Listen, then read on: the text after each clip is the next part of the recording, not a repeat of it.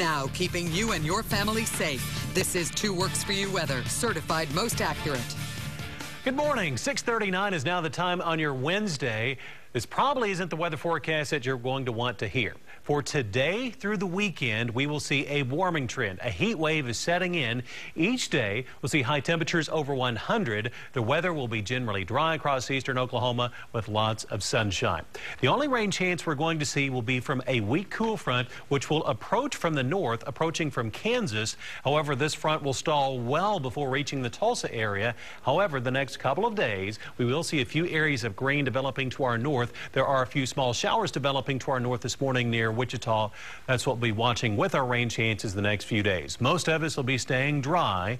Warm start to the day. 81 the current temperature, and we have a heat index in the mid 80s. South wind at 8 miles an hour, and the weather is humid. The computer model futurecast isn't showing any areas of rain across green country today, just heat. Your temperatures will see mid 80s at 9 up to 95 degrees at noon, and this afternoon hotter than yesterday yesterday. We topped out at 100 on Tuesday. Today we're forecasting 102 for the high. And look at this warming trend. By Friday, out ahead of this weak cool front, you usually warm up. We'll see temperatures near 106 degrees on Friday. That 10% rain chance that is for north of Tulsa near the Kansas state line. We may see a few small showers developing also near the Arkansas state line, a few small showers developing.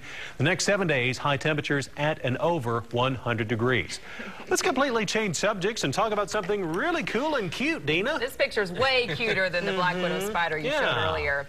This what do we have here? This is Pistol. This is my He's getting big. He is getting big. It's my husband's dog. I guess I claim him now. He's part of the family. He's all yours. Yeah, he's part of the family. But a good reminder just to uh, keep your dogs. Uh, lots of mm -hmm. water out there for the pets. Yeah. And you always mention this, ice out there because it melts so quick. Dogs love a big bowl of ice mm -hmm. if mm-hmm. nothing else to play with it as yes. well.